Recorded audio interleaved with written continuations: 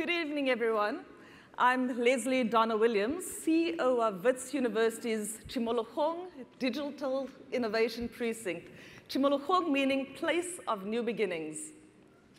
I'm also quite fortunate to be a member of the inaugural class of the Obama Foundation's Leaders Africa program. And it's my privilege to be joining you this evening. Madiba, many of us who have been privileged and are privileged to have been born in his lifetime holds dear memories for many of us. My first interaction, which is very special to me, is having met him on my 15th birthday when he came to my school in Eldorado Park in Johannesburg. And the reason why this is important is because he had a knack of going into places that are often not seen and not heard. His ability, sorry, his practice of service, of servant leadership and personal sacrifice has inspired me and people around the world to go beyond personal gain and take action on issues that affect our generation the most. This evening, I'm joined by two special individuals who have a unique understanding of the power of Madiba's legacy. The ability to wield moral authority, empower young people, and provide access to education, thereby creating a strong and vibrant Africa. Mam Graça, a champion of social justice, education, a symbol of moral authority to us as well, a strong activist who is female as well. President Obama, who through his foundation is investing in the power of young people like me to transform our communities at home all around the world.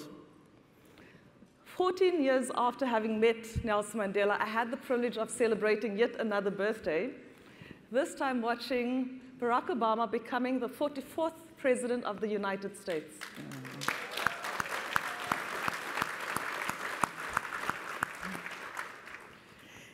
As we celebrate Madiba's life during his centenary, it is more important that we connect and that we reflect to the spirit of his work and the reason why we come together to create a stand and, and unify together on the changes we want to see in the world. President Obama, Madiba said, a frightened world cannot think clearly. Both you and Madiba had a way of connecting to the power of positivity instead of fear and conflict to address change, social change. In today's age, young people, find, we find ourselves in a world where we dealing with issues of xenophobia, of inequality, of further segregation in the world. Do we always need a common challenge to unite around these issues? Or can common hope be a possibility? And also, how do we go about designing that? Well, well first of all, good evening, everybody. It's good to see you guys. Uh, and and I, I just want to call out uh, Lonnie Bunch somewhere uh, for having uh, yeah. achieved this magnificent institution. Uh, I could not be prouder to be with uh, Michelle, uh, one of just the best people I know. Oh my goodness. Across the board. uh, and, and anybody who knows her knows her wonderful spirit and, and leadership. And I could not be more proud uh, to have Lesley here, uh, who is an example of the kinds of young leadership that exists across the continent of Africa, here in the United States and around the world. Uh, and I want to give a shout out somewhere to Mary Zients as well, because she put in a lot of work uh, to make this happen this evening. Um, I, I promised I was going to give short answers, to, even though they're big questions. Yeah. and uh, there is always a struggle between hope and fear, uh, between the world as it is and how we'd like it to be. And during times of tumult and disruption, whether it's technological, economic, uh, information, migration. Uh, the danger of us resorting to fear, to organize ourselves, falling back on tribe, race, ethnicity, uh, sectarian uh, lines, that always becomes stronger. Uh, that's been true in this country, in the United States. You know, it, you can actually track that when the economy is doing better, typically our politics is less divided. It gets more divided when people are feeling insecure and anxious. Uh, it's true in South Africa, it's true everywhere. The good news is that fear is typically the province of the old, and hope is the province of the young. There are,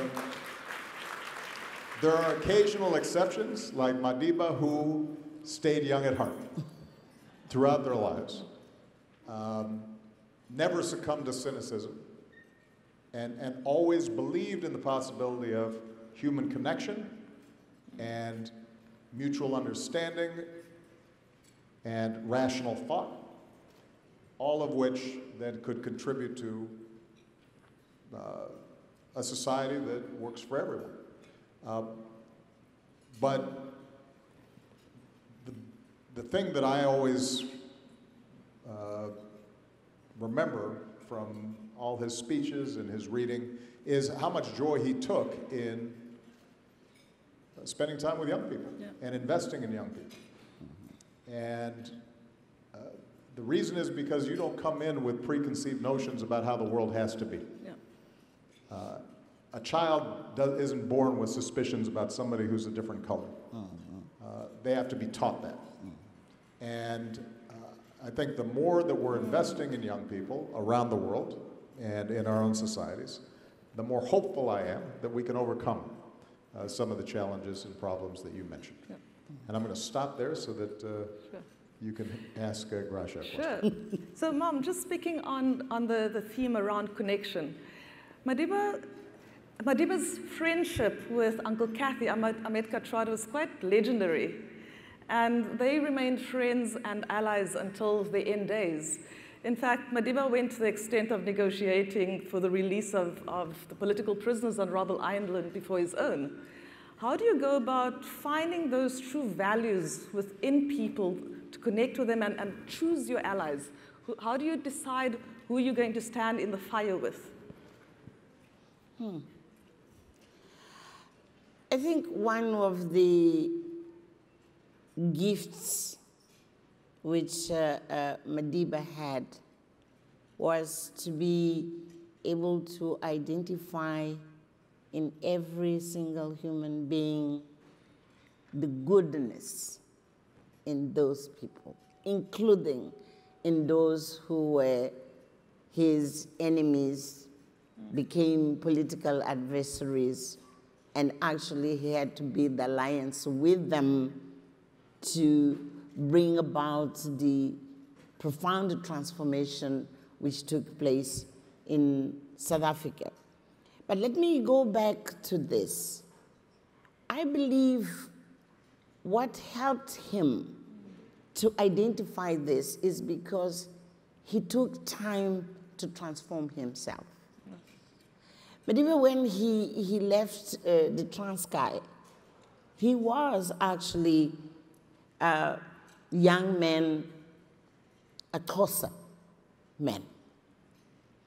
But he, if, if we remember why he left the Transkei, it's because he refused to take a wife who had been lowballed for him and was being offered to him. And he said, I have a right to choose.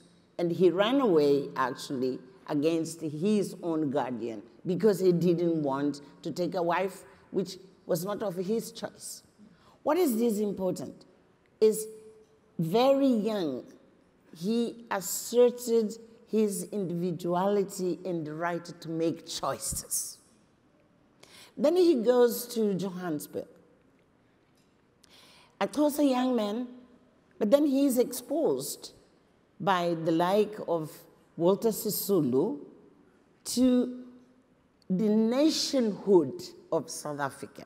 Remember that uh, at that time, the Transkei was a Bantustan. So for him to understand South Africa as a nation and to understand the diversity of those who make the South African nation, we have to remember it was Walter Sisulu who played a role in his life. And that has transformed him from this uh, Xhosa person to a South African.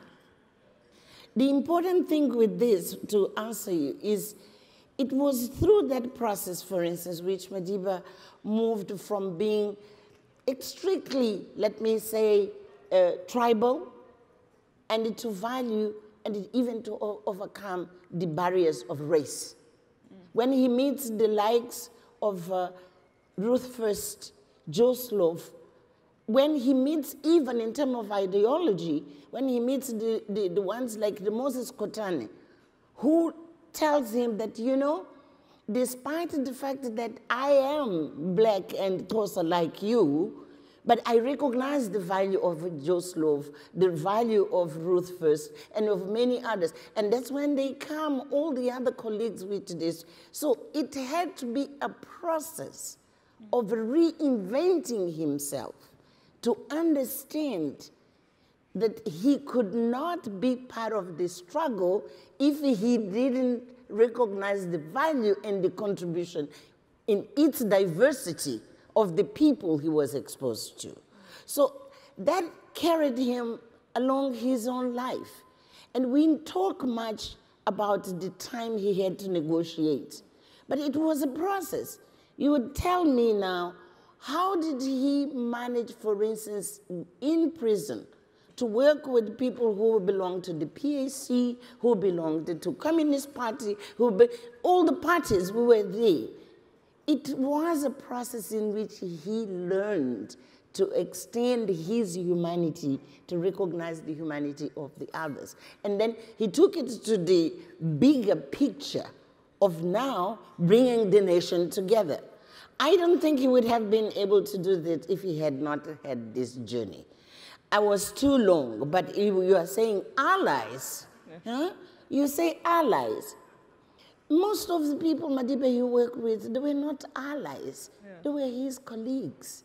They were part of him. The only time he had to look at the other side and to transfer himself to the other side, to the skin of the other, is when he had to negotiate with the National Party. Yeah. And that he recognized. You don't negotiate with your friends, you don't negotiate with your allies, of course. You negotiate with those who have completely different points of view of yours, but you, build, you come to the middle of the space. So to respond to this, how? I think any one of us here, we have to have that journey individually. Otherwise, you will not be able to recognize and to value other people if you had not had internally the process which helps you to recognize and to value others. Just, thank you.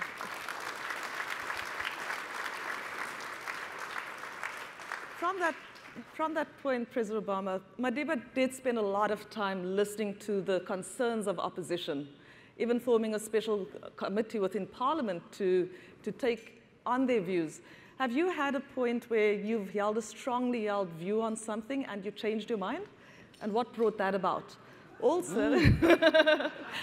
as young people ascending leadership, what are those points where we do need to step back and be open to shifting our, our view on something. Well, I think Graça's point about self-examination and self-reflection as a tool of leadership is absolutely crucial at whatever level. And it's true if you're heading up a nonprofit organization, it's true if you're heading up a museum, it's true if you're heading up a business, and it's true if you're heading up a, a country. Uh, because if you don't know what you stand for and what your values are and what you believe, then you also don't know what can be compromised and what can't be compromised. Mm. Uh, what's of lasting value and what is situational and temporary. And uh, I change my mind all the time. um, based on facts and evidence. Yeah, And exactly. Uh, mm-hmm. Y- You know, I, I've said this before. I, the, the challenge we have in our politics in every country is when people start conforming facts to their opinions and biases, mm-hmm. as opposed to trying to shape their opinions and biases based on the facts. Uh, because if, if, you, if, you are, if, you're, if you're starting off based on facts, um, then we can have a discussion, we can have an argument. And you can change my mind because you can prove to me that, well, actually, I may think that the moon is made of cheese, but then Graça will present to me facts. The astronauts went there, They're, they, and there was soil and, uh, you know, footprints. And, Yes. and they came back and we have photos and so and, and i may change my mind i can't do that if i if i deny facts so, so that'd be point number one um, there, there are times where changing your mind also requires listening to other people and i'll give actually a, a, a specific example of this um, throughout uh, my young adulthood and my early political career, I had always believed that members of the LGBT community, gays, lesbians, transsexuals, etc., should be treated equally under the law like everyone else. As someone who has been, um, as somebody who is a member of a group that's been discriminated against, it violated my core principles to think that the state would discriminate against somebody else. But I would say uh, early in my political career, my general view was when it came to uh, same sex marriage that, well, if you can just have a civil union with all the legal uh, uh, uh, rights associated with it, you don't have to call it a marriage. It doesn't create as much conflict with respect to people's religious predispositions. It will be fine. But of course, it wasn't my place to say it was going to be fine. Right? And so when I have close gay friends tell me, you know what, this does not make me feel fine. Because this is, this is not simply an issue of contracts and you know, me being able to visit my partner in a hospital. This has to do with the, the, the stigma that I feel that I am not the same being able to uh, join together with somebody I love in the eyes of the state, right? Particular religious institutions have the right to make their own rules, but this is a state recognized marriage. Listening to the pain they felt in not feeling that recognized allowed me to say, you know what? That makes sense. I get that. So, uh, you know, one of the things I, I think I may have mentioned to the, the Obama fellows when I met with them, because I say this whenever I talk to young people who want to change the world. Um, the first thing to do if you want to change the world is uh, shut up and listen. Because, because we always assume we know what's best. Uh, but before you can actually lead people, you need to know what do they feel and, and where are they coming from? What's their perspective? Uh, what's their story? Uh, and, and, and I think that the, the challenge we have in our politics is that similar to people wanting to block out facts, we, don't, we want to block out other people's stories because it may contradict Yeah. our predispositions and biases. Um, and, and openness to other people's experience and new facts requires a certain kind of courage. Um, and it goes back to your earlier question about hope and fear. Uh, Fear induces closed mindedness. Yeah. We like to build up barriers to prevent us from hearing things that may force us to re examine who we are and what our attitudes are. Uh, and, and letting go of that fear, I think, is, uh, is important. And, and leaders who, who feed fear uh, typically are also ones who avoid facts. That was a good one. Mhm. Very good. I'm going to stay with you for, for a minute, President, and I'd love to hear Mam Graça's view on this as well. So, in many of, I mean, around the world, we, there is still seeming, a seemingly archaic view of the role of women in the workplace, in society. And many of these beliefs are often brought about our perceptions of our culture through or our religion. Our traditions, our religion, our culture shapes that. What are some of the, firstly, do we need to steamroll those beliefs to be more modern? But also, what are the unintended consequences of social fabric if we do? Let's have Graça answer this first. because I find that if I suddenly have a whole bunch of opinions about women that are offered before women offer the opinions, at least in my household, I get into trouble. That's some wisdom there. Yeah. Just want to communicate to all Let of me, you. let me start by uh, challenging the notion that um, the, the way women are being treated in society is because of uh, uh, religion.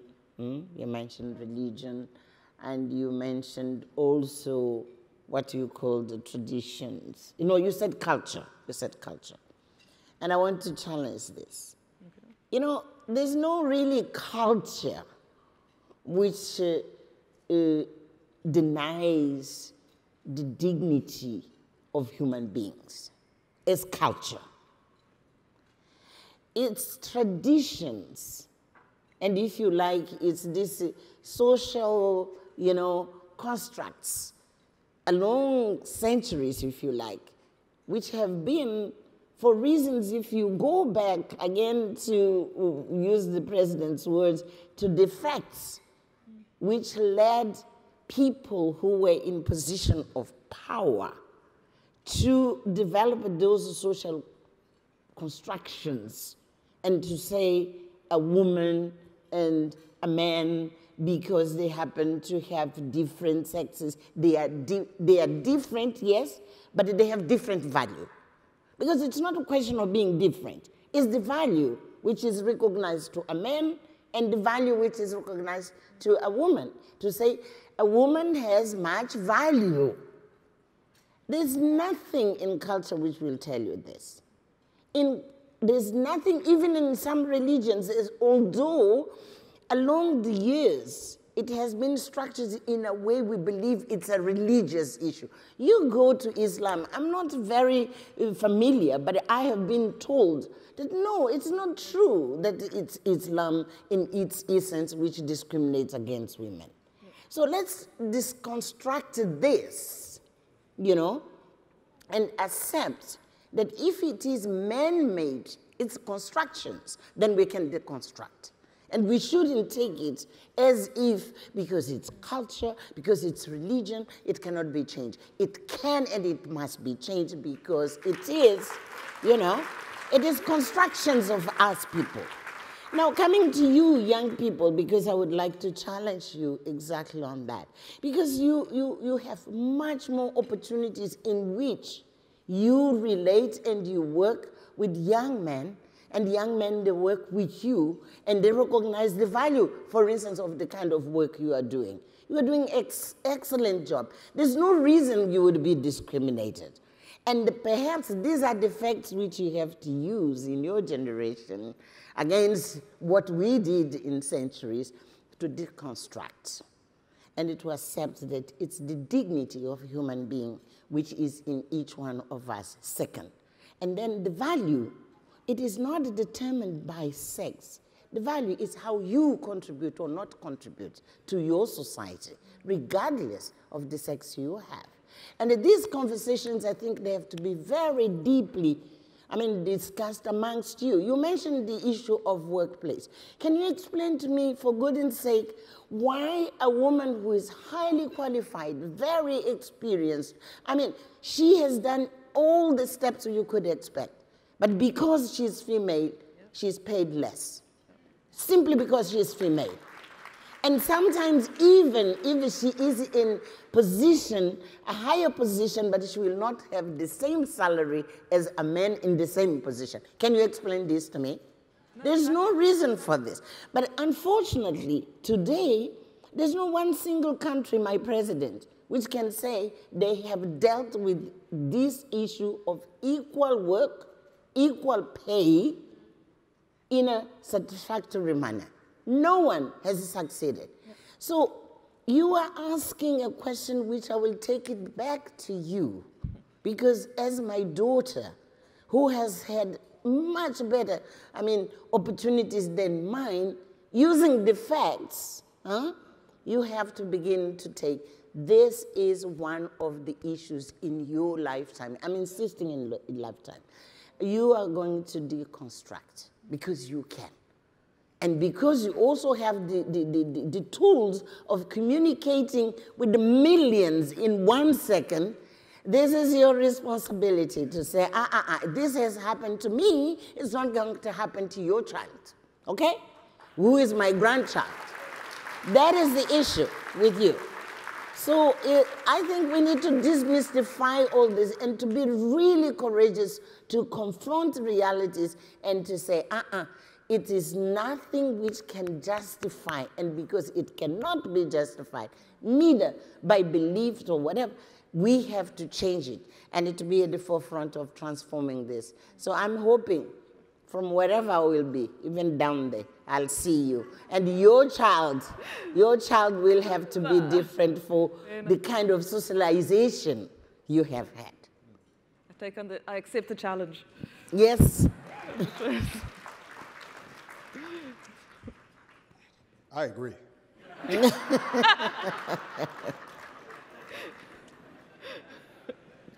I, uh, the only thing I would add would be, uh, and Michelle and I talk about this quite a bit, uh, how we educate our boys. Uh-huh. Uh, because, yes, uh, women have to knock on the door, but um, they shouldn't have to knock any louder than boys do for opportunity.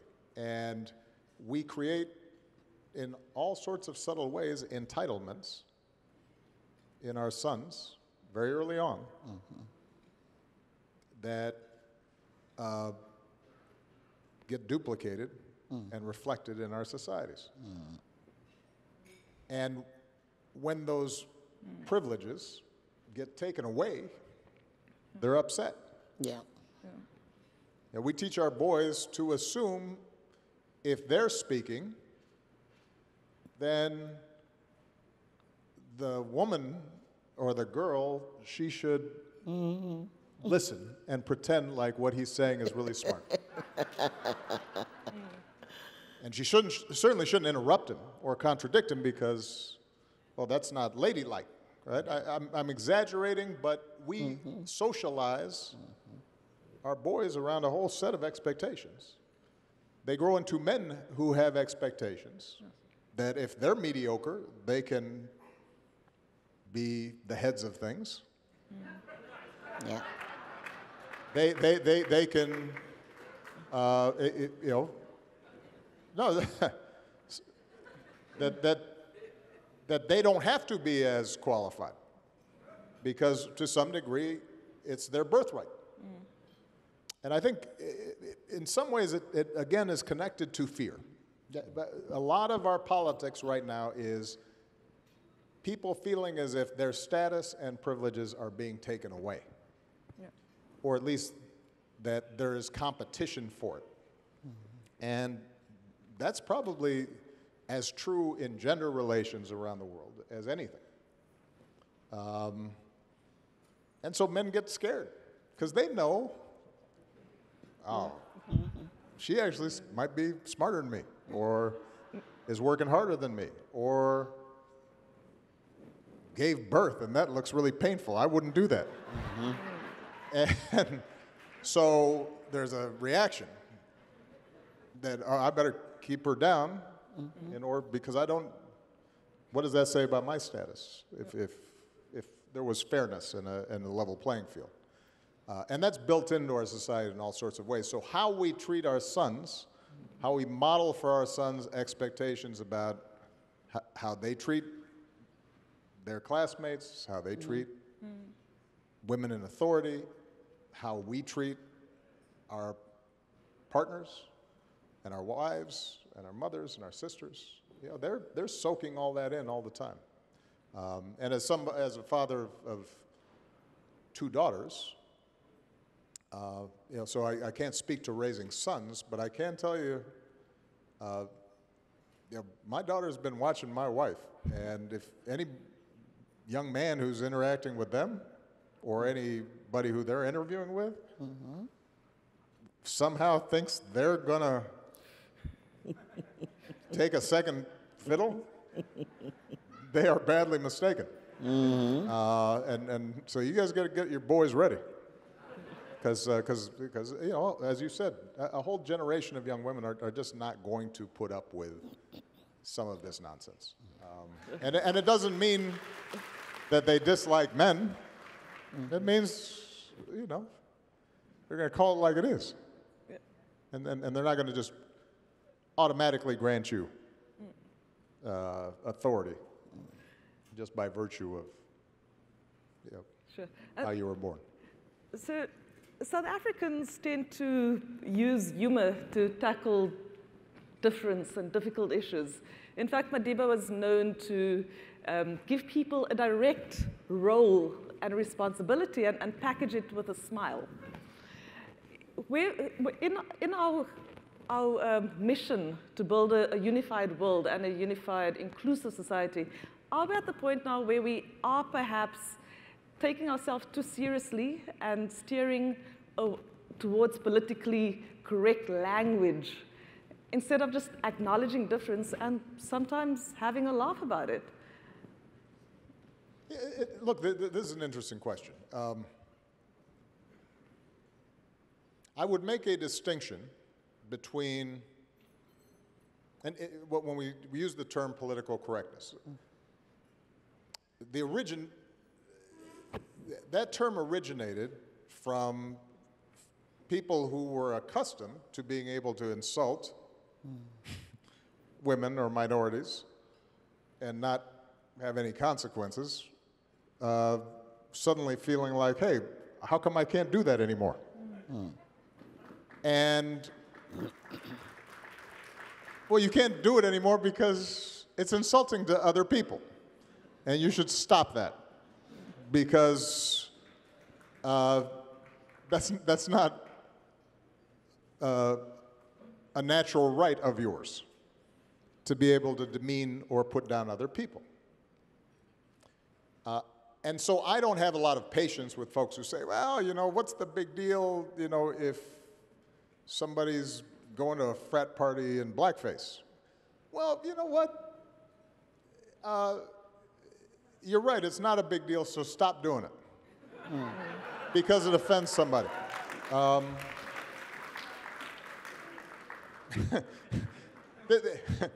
you'll be fine not doing that. right? Or not telling an anti Semitic joke, you know? There's no reason for you to do it unless you think it's important to put somebody down and to ignore history. Uh, and if you do, I have no patience for that. Now, what I do believe is that, uh, and I worry sometimes that those who are progressive, want to extend human dignity to all people, and so forth, start losing a sense of humor, but it's not just losing a sense of humor, it is I am actively looking for evidence that I am victimized. And that becomes its own assertion of power, right? So I, I, I want to be offended. And there are times where people may say something out of ignorance and not bad intentions. They may use the wrong words, but we're not feeling as if they are exhibiting malice. They are open to being educated. Um, and, and, and we have to apply some common sense to that. Uh, and that's true across the board because if you get too offended, in some cases, it means that you are presuming that you've never said anything stupid or offensive. And it goes back to what Graça was saying about self examination. I, I, I can't get too high on my horse because I know at some point I've had prejudices. Yep. I know at some point I've put somebody else down. I, I, I remember language that I used when I was a teenager because I was insecure, so I maybe teased somebody in a way that was cruel. So I remember that about myself. Well, let me, let me not suddenly be the thought police all the time. Uh, and, and look, h- how we draw these lines, how we draw these distinctions, I think are Okay. uh, important. Uh, one rule I would use is that if there is a group of people who say they are deeply offended about something, then I think the default should be So, don't offend. Thank you. Okay. Lightning round, super fast, quick response before we get dragged off the stage. Mam Graça and President Obama, I'd love to know very briefly, in your view, what is one thing that could lead to a failure outcome for youth in Africa? And what are you exceedingly op- optimistic about? What makes me optimistic, I'll focus on that because I don't have much time. It's exactly what I see emerging, even if you like, like bubbling amongst young people on my continent. You know, if you look at uh, how, for instance, the kind of civil society organizations which they organize themselves, they take initiative. They don't need to be uh, asking permission to anyone. They organize themselves. They define the agendas of things they want to do.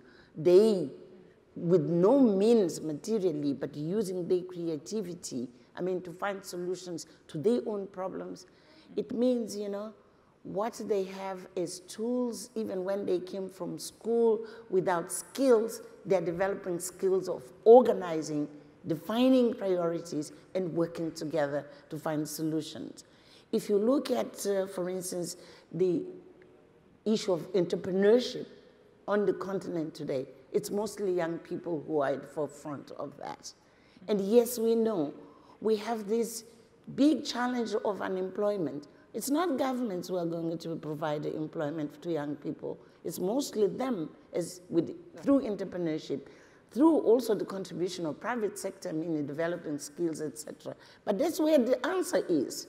Because otherwise, we will be dealing, again, I will use Adeline, Madeleine uh, Albright yesterday, is that the solutions of 21st century have to be found in 21st century and not using the, the methods of 18th century. And young people are teaching us, I mean, to look at the challenge of today and to take up the responsibility. We should Yeah. take initiative and get organized. Exactly. Yeah. Get organized and take initiative and solutions, results, very concrete things. Thank you. President? Well, uh, I think Lesley's an example. The people that uh, we've been convening and working with through the foundation, uh, they are extraordinary. And if you meet any of them and you hear about the work that they're already doing on the ground, um, you can't help but be optimistic. The, the danger is not that these young people uh, will have a failure of imagination or energy or uh, innovation. Uh, the risk is that old people don't get out of the way. Yeah. And uh, I, I think that you know, part of the reason that Michelle and I decided to focus through our foundation on training the next generation of leaders uh, is because, uh, look, we've had the opportunity to lead. And it was an extraordinary privilege. And you know, we don't depend on an office for leadership, but it does mean that you have different roles to play at different phases. And the most important job we can play now, and I think sometimes African leaders, American leaders, mm. leaders everywhere forget this, is that there comes a time where your contribution is not on the field or on the court, but it is as a coach. Mm-hmm. Uh, it is as a mentor. It is as somebody who is helping to guide, connect, resource, spotlight a whole range of new talents and new energy that's coming. And, and uh, I think that if, if, if those of us who've had uh, the good fortune uh, and the blessing of, of serving their people in some capacity uh, recognize that, then uh, our job is to help you succeed. And uh, if we do that, I have no doubt that uh, not only Africa will shine, but uh, so will the world. So, Thank you. thank you. Thank you. Thank you. Uh, can I, can I, can I take the privilege of old people, huh? When, when President Obama came to South Africa last year to celebrate with us uh, the 100 years of Madiba, I said something which I would like to repeat to uh, people who are in this room today.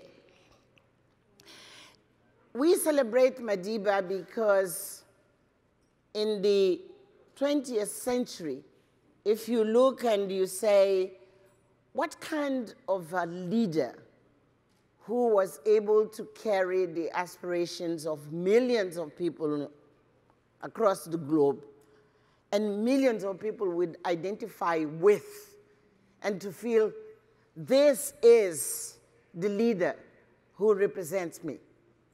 It's Madiba, right?